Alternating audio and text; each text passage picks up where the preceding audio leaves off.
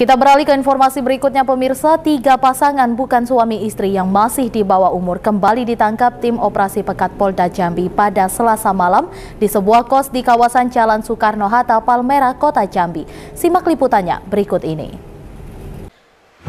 Tim operasi Pekat Polda Jambi kembali menangkap tiga pasangan bukan suami istri di kamar kos di Jalan Soekarno-Hatta, Kecamatan Palmera, Kota Jambi pada selasa malam 29 November 2022.